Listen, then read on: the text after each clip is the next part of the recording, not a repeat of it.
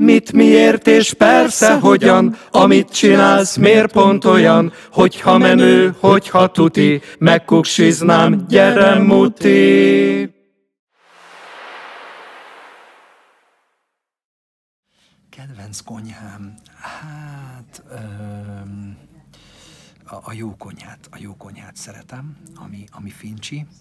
Öm, mikor milyen hangulatom van, ha éppen hasmenésem van, akkor annyira a tájkonyhát nem szeretem, de egyébként azt is simán megeszem.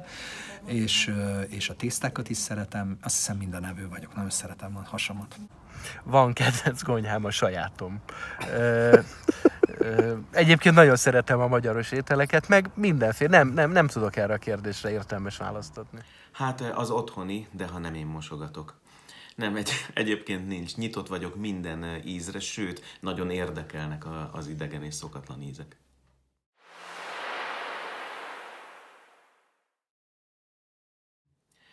Ez sincsen igazából. Szeretem, ha van benne hús, de ahhoz sem ragaszkodom. Nagyon szeretem a, az olasz kaját, nagyon szeretem az ázsiai konyhát. Tulajdonképpen minden, aminek intenzív ízvilága van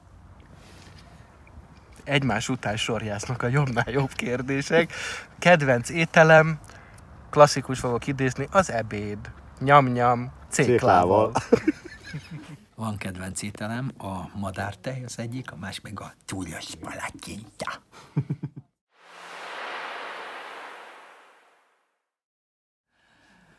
Hát minden ételt el lehet úgy készíteni valószínűleg, hogy kínáljam. Például a túros palacsintát is lehet uh, penészes túróból készíteni, büdösből és uh, ocska tésztából.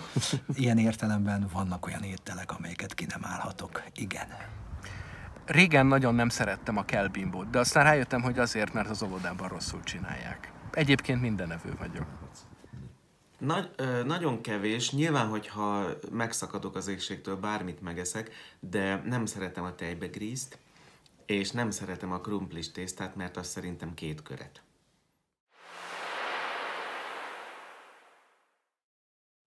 Tudni nem tudok, de nagyon szeretek. Szeretek kísérletezni, és néha meglepően jól sikerül. Hogy tudok-e, azt, ö, azt mások ítéljék meg, de nagyon szeretek főzni, sokféle ételt szoktam készíteni. Legutóbb zsenge dámtehénből készítettem nagyon finom, hát a közönség szerint nagyon finom gulyás. Tudok főzni.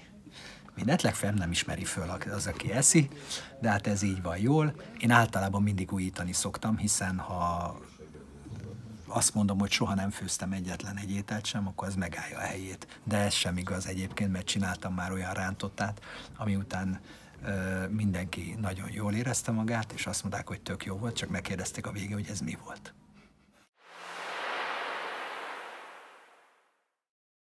Elméleti síkon szoktam figyelni az egészségemre, gyakorlati szinten pedig úgy gondolom, hogy az egészséghez az nagyon fontos dolog, hogy az embernek tele legyen a hasa. És ha tele van az embernek a hasa, akkor egészséges, hiszen akkor életben marad. Nem egy utolsó szem. Mindenképpen. Egyrészt azt gondolom, hogy ahogy telnek az évek, ez egyre fontosabb. Nem, mint hogyha kevésbé lenne fontos gyerekkorban, de akkor talán még fiatalkorban többet elvisel az ember szervezete. Arról meg nem is beszélve, hogy a sport mellé elengedhetetlen az, hogy, hogy az ember tudatosan táplálkozzon. Hát én a szétválasztós diéta híve vagyok. Szilveszter előtt például csé napot tartottam, akkor csülkötettem csokit és chipset. Szerintem ez abszolút az egészséges táplálkozás kategóriájába belefér, úgyhogy igen, oda Abból a kacsából itt mit készíteni, amelyik itt totyog ide? Abból egy kis tárkonyos ragút. Hm, akkor gyerekezelem.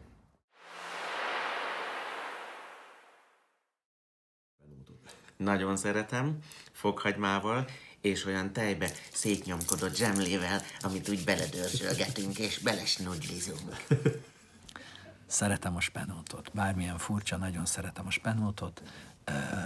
Tükörtojással szeretem a spenótot, meg még esetleg tükörtojással.